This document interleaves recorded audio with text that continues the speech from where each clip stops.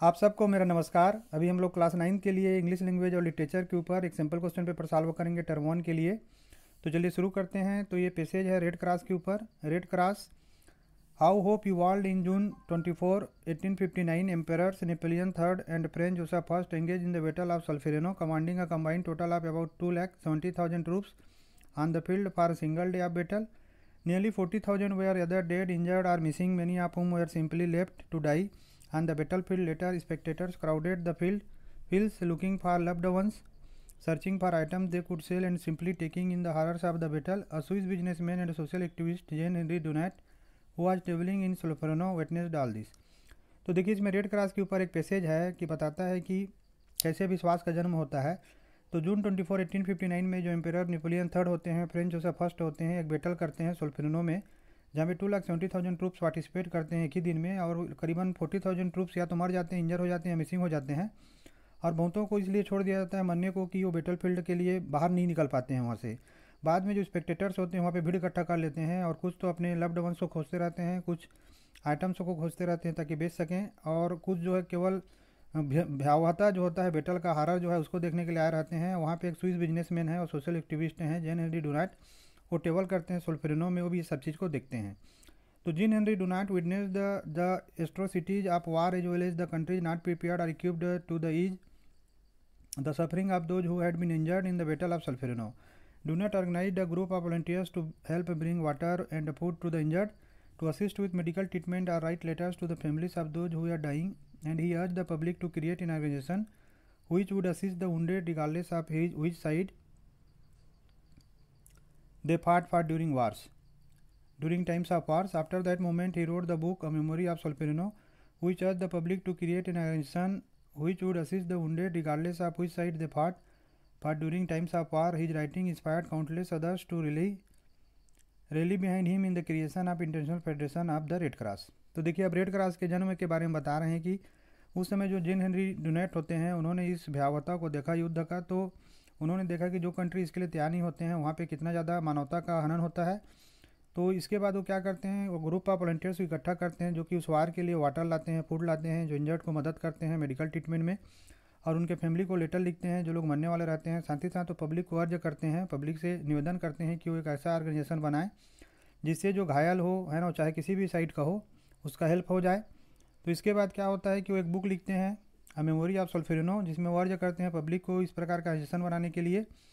और उनकी जो राइटिंग है, वो बहुत सारे लोगों को इंस्पायर करता है कि उनके पीछे में आए और तभी बनता है international federation of red cross the modern day red cross began by by devoting itself largely to disaster relief and epidemic treatment और जो आधुनिक रेड क्रॉस है, उसका जो लक्ष्य है, वो आपदा से बचाने का है एपिडेमिक ट्रीटमेंट का है। This effort continues to this days और ये जो एफर्ट है, आज भी चला आ रहा है।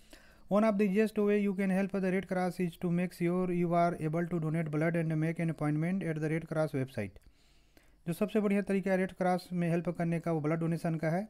But donating blood isn't the only way you can help out the red Cross also encourages donating your time if you can that is what the red cross wants everyone to know तो red cross में खाली blood देने से ही जो है ना सब चीज़ पूरा नहीं हो जाता। अगर आप सही में उसका हेल्प करना चाहते हैं तो आप अपना समय दे दीजिए। यही चीज़ रेड क्रॉस सबको बताना चाहता है। अब क्वेश्चन देखते हैं कि how many soldiers fought in the battle of Solferino on June twenty four तो हमने भी समझा है कि टू लाख सेवेंटी थाउज़ेंड थे तो इसका ऑप्शन ये करेक्ट हो जाएगा।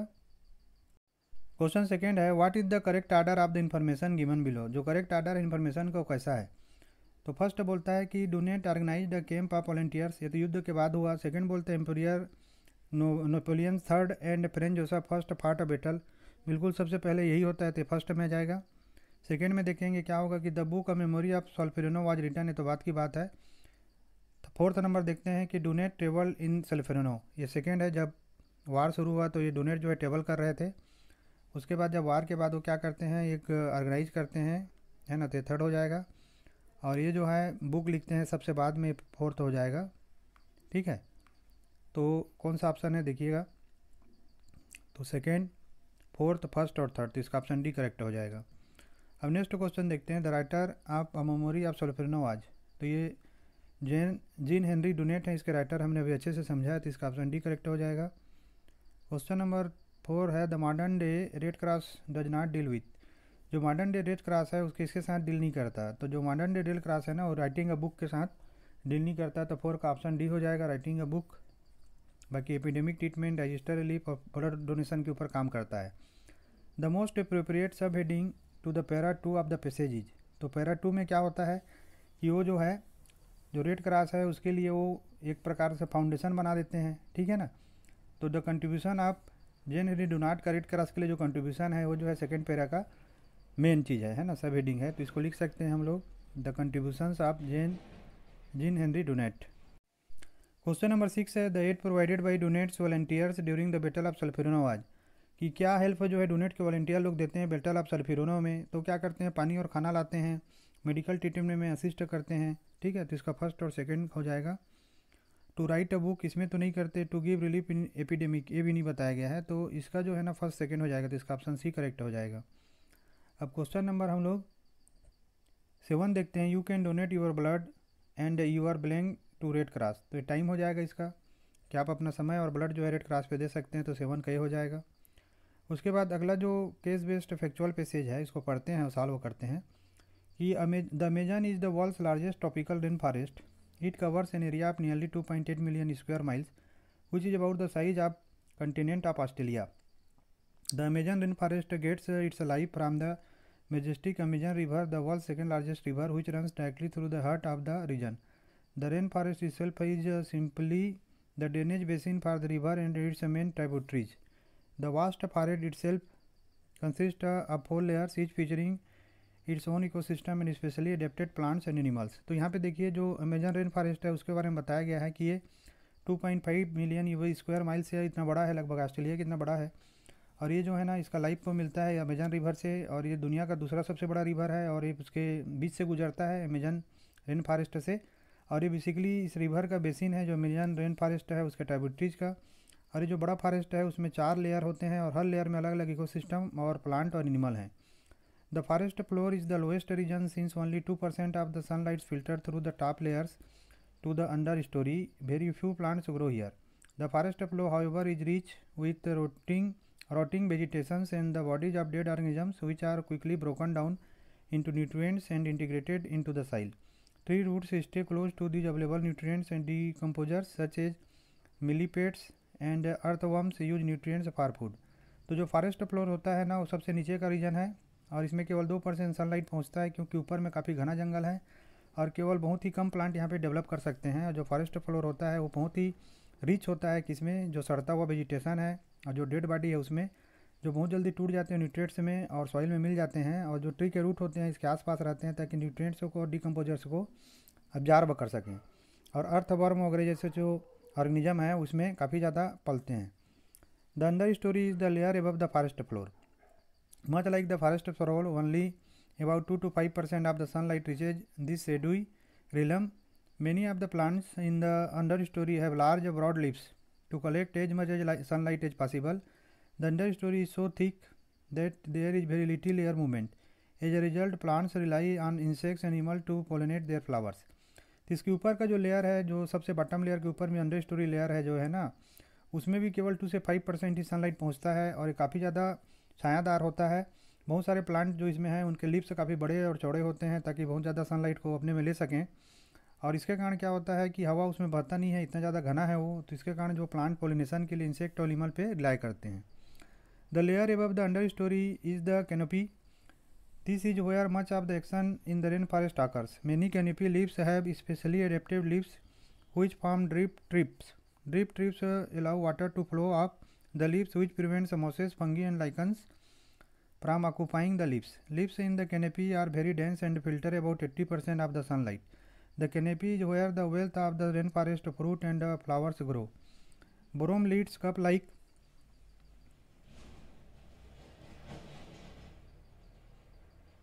plants provide drinking pools for animals and breeding locations for free tree frogs ठीक है ना? तो इसके बाद देखिए जो लेयर होता है सबसे ऊपर में वो कैनपी कहलाता है और ये जो है ना मेन एक्शन यहीं पे होता है। इसके पत्ते में ड्रिप ट्रिप प्रकार का सिस्टम होता है जिसमें वाटर वहाँ पे ठहरता नहीं है, जिसके कारण उसमें मोसेस फंगी और लाइकेंस डेवलप नहीं कर पाते। लिप्स के ऊपर और एट्टी परसेंट सनलाइट लोग फ़िल्टर कर लेते हैं। और यही जो है ना रेन फॉरेस्ट का सबसे बड़ा वेल्थ जो है, मैंने फ्रूट और फ्लावर ग्रो होते हैं।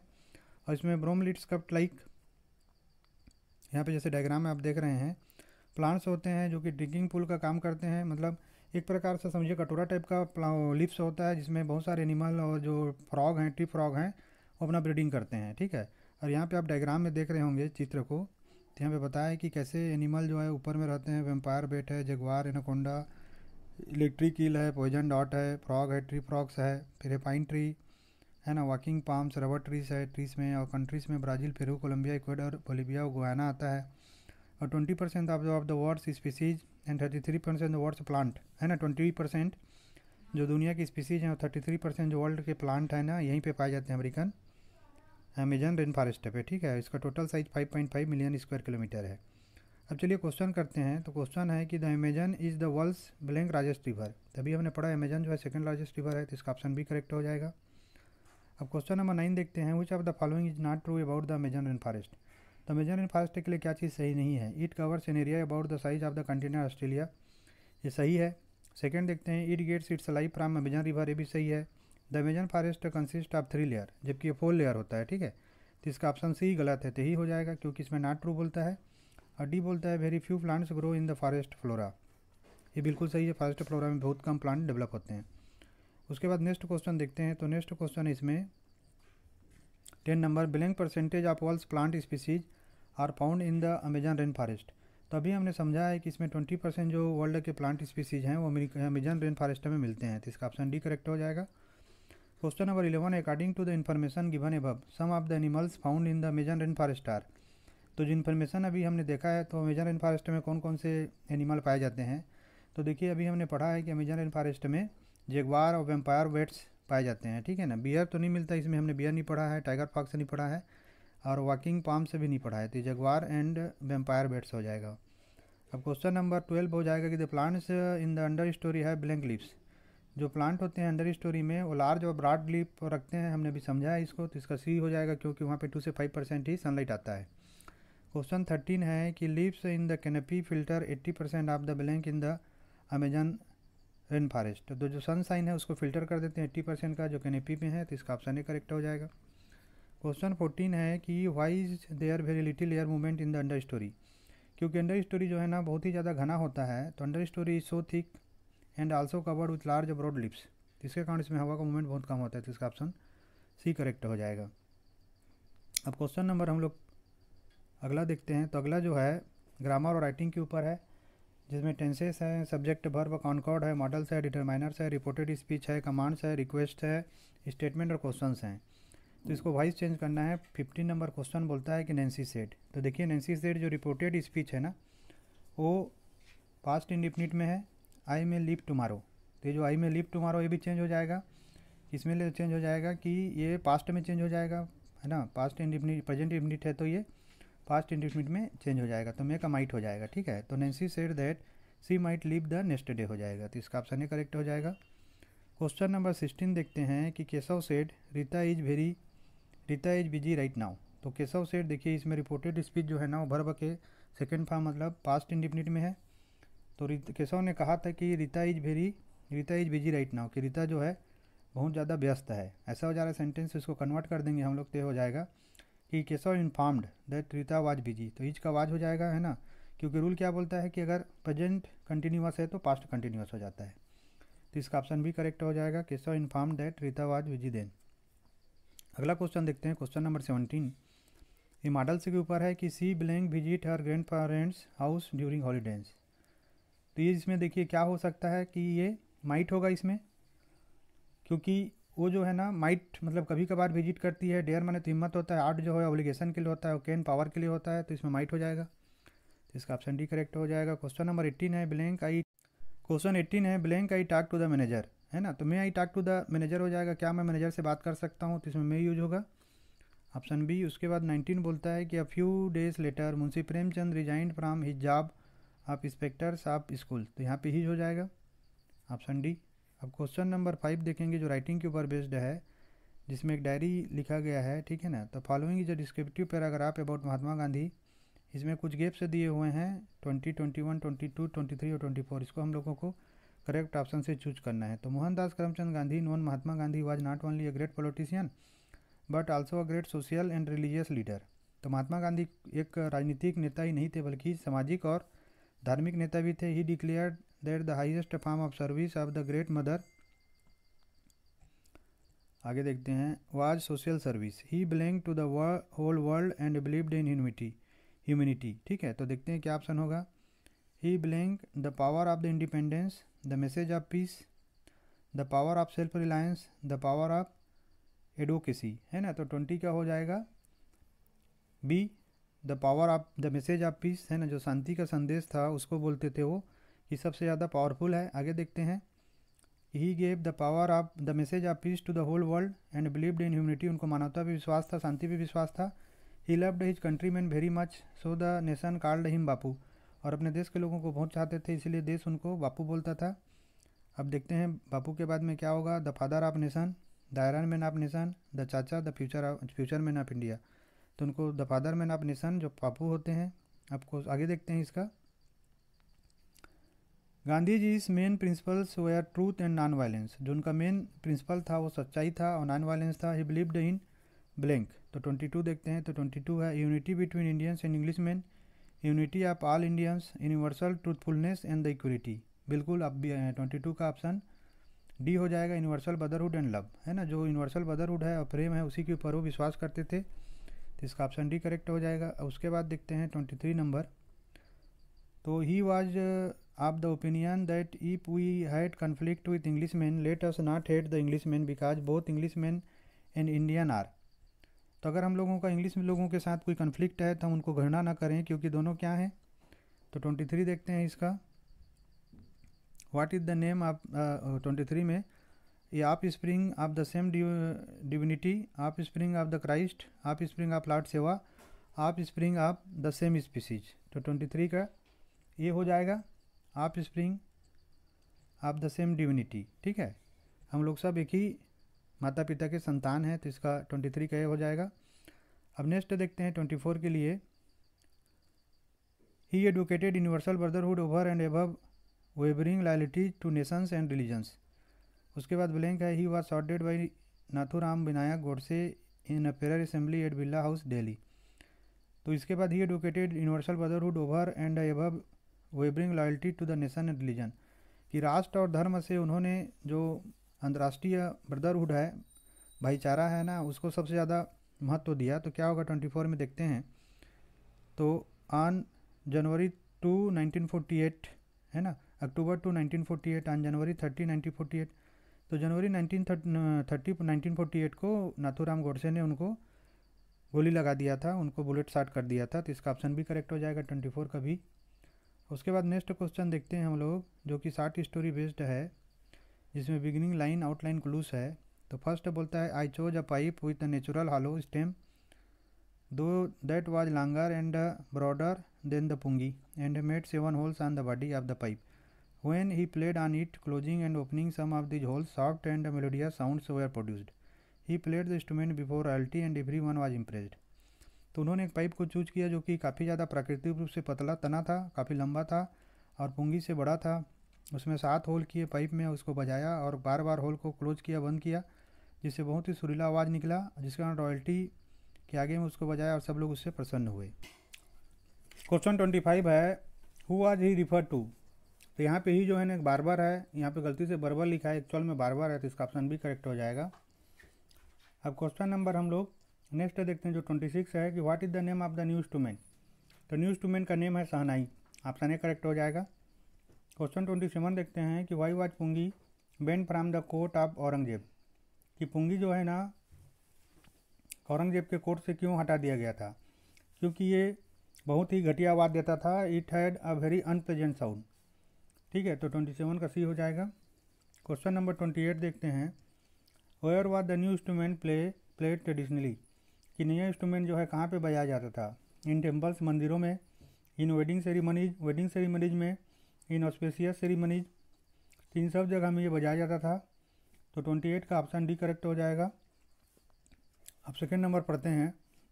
A headmaster once told his father that what Einstein chose as a profession wouldn't matter because he will never be make a success at anything. Einstein began learning to play the violin at the age of six. because his mother wanted him to. He later became a gifted amateur violinist, maintaining this skill throughout his life.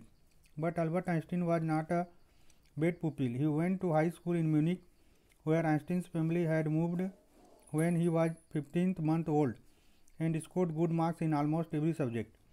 Einstein hated the school's regimentation and often clashed with its teachers. At the age of 15, Einstein felt so stifled, stifled there that he left the school for good. A truly beautiful mind. तो देखिए यहाँ पे Einstein के ऊपर बताया गया है कि आइंस्टीन के हेडमास्टर उसको बोलते थे कि कुछ भी कर ले कभी सक्सेस नहीं होगा। और वो छः साल की उम्र में वायलिन बजाना शुरू करते हैं और जीवन भर वायलिन बजाते हैं। लेकिन वो एक ख़राब विद्यार्थी नहीं थे। जब वो हाई स्कूल में जाते हैं म्यूनिक में जहाँ उनका परिवार जाता है जब पंद्रह साल के थे तो उन्होंने अच्छा स्कोर स्कोर किया था अच्छा मार्क्स लाया थे। और आइस्किल जो है ना आइंस्टीन जो है स्कूल के नियम कानून से नफरत करते थे और अपने टीचर से क्लेश कर जाते थे। जब वो फिफ्टीन ईयर के थे तो इतने ज़्यादा स्कूल से वो परेशान हो गए कि उन्होंने स्कूल को छोड़ दिया कुछ अच्छा करने के लिए। क्वेश्चन ट्वेंटी नाइन है what did the school headmaster say about Einstein Einstein के बारे में स्कूल के हेड मास्टर ने क्या कहा था? तो उन्होंने कहा था कि वो किसी भी चीज़ में सक्सेस नहीं कर सकते। तो इसका ऑप्शन सी करेक्ट हो जाएगा. He can be success at anything question number thirty देखते हैं. When did Einstein begin to learn playing the violin ये आइंस्टीन ने वायलिन बजाना कब सीखा था? तो at the age of six छः साल की उम्र से उन्होंने वायलिन बजाना सीखा था. क्वेश्चन थर्टी वन है. Where did Einstein score good marks in all the subjects तभी हमने पढ़ा कि म्यूनिक की स्कूल में.